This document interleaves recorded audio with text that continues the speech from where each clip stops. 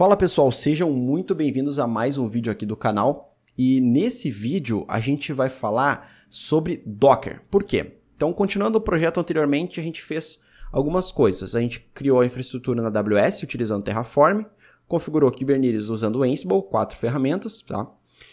E uma coisa interessante é que é o seguinte, quando a gente jogar isso aqui para uma ferramenta de CI/CD, a gente precisa ter acesso ao Ansible e precisa ter acesso ao Terraform.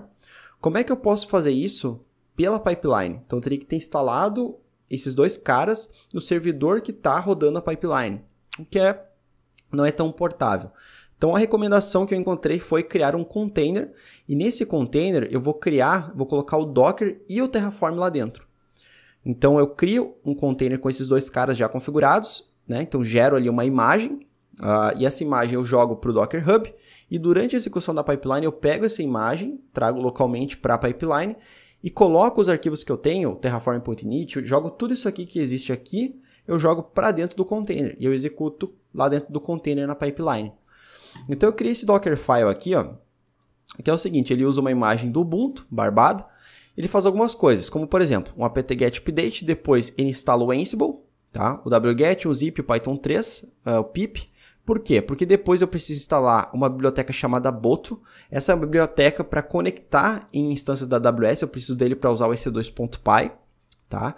Faço um wget no Terraform, lá no site da HashiCorp, baixo o zip dele e faço um unzip dentro do userbean. Então eu consigo já executar ambas as ferramentas. Como que eu faço isso, galera? Aqui, uh, deixa eu voltar aqui, eu tenho meu Dockerfile, então eu simplesmente preciso criar aqui uma imagem. Então docker build "-t mateus é, teste ponto. Ele vai fazer um build disso aqui. Como já está no cache, ele só pegou as layers do cache tá, e criou a imagem. Então seria mais ou menos o seguinte, ó, vou dar um docker run "-it bash e o nome da imagem. Provavelmente é essa aqui. Poderia ser Mateus teste também, né? Pera aí. Docker images. Fiz errado. Eu tenho que fazer um docker run naquela imagem ali, ó. Mateus, dois pontos teste. Ou bash no final, acho que é bash no final. Bash. Beleza, tô dentro, da, da, dentro do container que eu criei. Se eu der um Terraform aqui, ó, Terraform já está configurado dentro do container. Se eu der um Ansible, Ansible também está configurado dentro do container. Então a única coisa que eu tenho que fazer aqui é jogar essa imagem lá para o Docker Hub, que é com o Docker Push. Uh, algumas coisas que você tem que se atentar. Se eu der um Docker Images aqui, ó, eu renomeei a imagem para Matheus Miller, ou seja, eu preciso colocar, um, ah, digamos, o usuário dentro do Docker Hub, que é o Matheus Miller 2, barra o nome da imagem. Então, Ansible and Terraform, que foi a imagem que eu criei. E eu coloco a versão, no caso aqui vai ser o latest.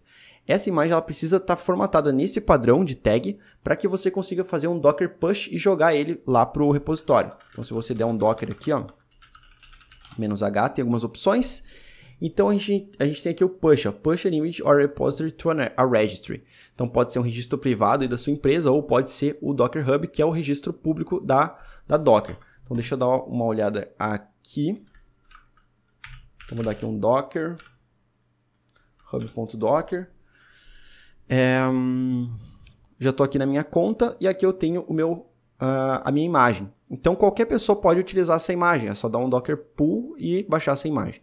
Então nesse caso aqui, quando executar a pipeline, o que ele vai fazer basicamente fazer um pull nessa imagem, vai buscar ela para a pipeline, vai pegar os arquivos, vai jogar dentro dessa imagem e vai usar o Ansible Terraform que estão dentro da imagem Docker para fazer a execução da pipeline.